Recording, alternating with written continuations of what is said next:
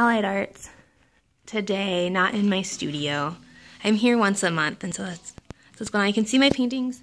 I have four right there, and then I have one right there. These are the cards that you've already seen that I just put up in the gallery. I replaced my Christmas cards with the tea cards. And then for the workshop this coming Saturday, I'm going to be doing this painting here. So we'll be teaching this painting and then we'll have a tea party afterwards. She